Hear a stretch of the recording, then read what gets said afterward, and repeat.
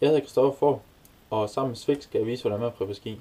Vi skal se på kantslipning, og vi prøver vores kanter, fordi det giver øh, bedre skær gennem svingene, og så står vi bedre fast på is og sne. Det gør os alle sammen til bedre alpinister. Vi sætter først en elastik på stopperne. Det gør, at vi har plads til at arbejde med kanterne. Når vi prepper vores kanter, fokuserer vi primært på sidekanten. Vi har en sålekant her og en sidekant.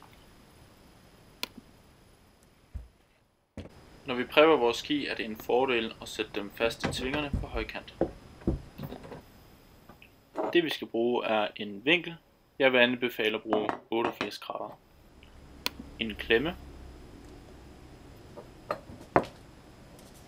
Og en fil.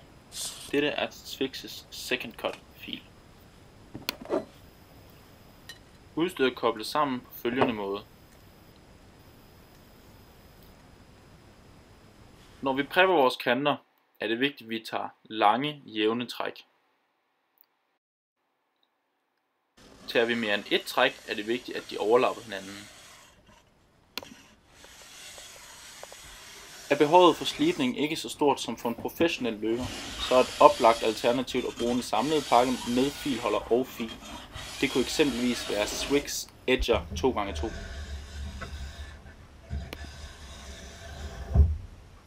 Som finish kan man tage en diamantfil, det er det en 600, og bruge på både sålekanten først og bagefter på sidekanten, for at gøre kanten jævn og glat.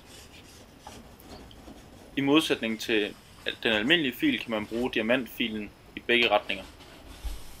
Diamantfilen er også optimal til daglig tuning, så man ikke skal bruge filen til at preppe sine kanter hver dag.